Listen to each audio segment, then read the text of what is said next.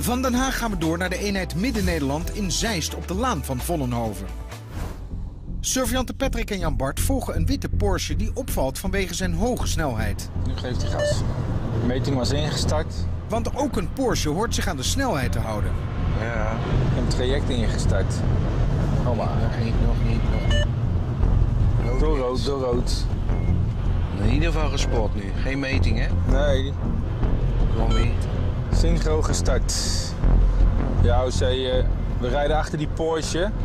Die is inmiddels al een keer door rood gereden. Inmiddels met wat hogere snelheid eh, over de Amersfoortsweg weer terug richting eh, de Panweg over.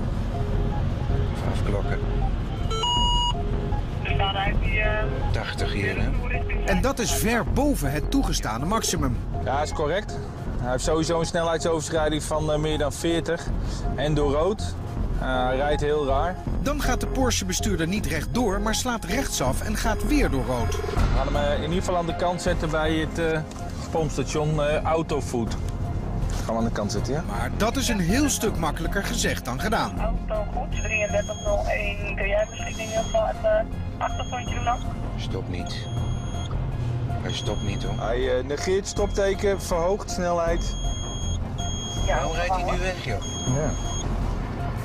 Eh, we rijden nog steeds eh, op de dreef. Snelheid eh, 80, dan weer remmen, dan weer gas geven. In ieder geval nog steeds eh, niet reageren op het stopteken. Gaat hij. Positie nog weer eh, 94. Eh, we rijden nog steeds op de dreef. Hij gaat rechts, hij gaat rechts denk ik, ja. Rechtsaf, Laan van Vollenhoven. Kinderen op rechts, kinderen op rechts. Ja, hij stopt weer hier gewoon. Eh 1645. Probeert hij te stoppen? Nee, hij gaat weer rijden. Stoppen en toch weer rijden. Jij komt zo meteen een 01 tegen hoor.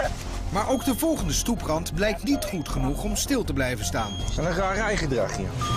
Met dat afsluiten. Gewoon wachten, eerst wachten. Ja, doe maar lopen. Openmaken, sleutel eruit halen. Heb jij een rijbewijs? Ja, heb ik, tuurlijk heb Oké, je, rijbewijs wordt, je rijbewijs wordt ingevorderd. Aan basis van je rijgedrag.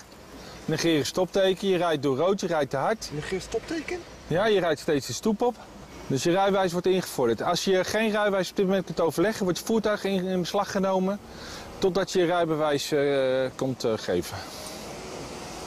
Dus Ik rijd deze auto net vijf minuten, meneer de agent. Ik ja, dat klopt. We eh, rijden achter je aan al vijf minuten.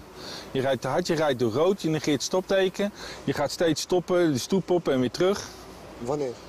Net hier op de van Vollenhoven. En als je zo schijnheilig reageert op zulke grove acties, is er vaak veel meer aan de hand. Dus Je mag even eh, krachtig uitblazen totdat ik stop zeg. Heb je alcohol gedronken? Beetje. Beetje. Beetje veel denken of niet? Je bent aangehouden.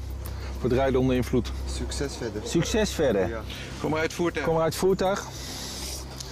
Draai maar even om, leg je handen maar even op het dak als je zo reageert. Dus. Bij deze ben je aangehouden. Je gaat er eh, boeien om krijgen vanwege je gedrag. En dit is dan de consequentie van arrogant, snobistisch en vooral onverantwoord gedrag. Scherpe voorwerpen bij je. De jongen gaat mee naar het bureau en moet aan de ademanalyse. Goed. Diepe teug nemen en krachtig uitblazen tot ik stop zeg. Ja? Ga je gang. Blazen, doorgaan, doorgaan, doorgaan, doorgaan, doorgaan, doorgaan, doorgaan, doorgaan, doorgaan. Hou maar. Klopt in ieder geval wel dat je beginnend bestuurder bent? Je hebt nog geen rijbewijs, hè? 485 UGL blaasje. Ginvordering. Dat betekent omdat je beginnend bestuurder bent dat je rijbewijs wordt ingevorderd. Dat betekent ook dat je wel moet zorgen dat je rijbewijs deze kant op komt. Is er iemand thuis die je rijbewijs kan komen brengen? Nee? Dan hebben we toch een probleem, want we hebben toch je rijbewijs nodig. Waar is je rijbewijs? Zaak. Niet thuis. Dan eh, gaat mijn collega die gaat even het een en ander met je doornemen. Deze beginnend bestuurder vertikt het om mee te werken. De officier van justitie zal in ieder geval verder over zijn lot beslissen, maar voorlopig mag deze man geen Porsche meer besturen.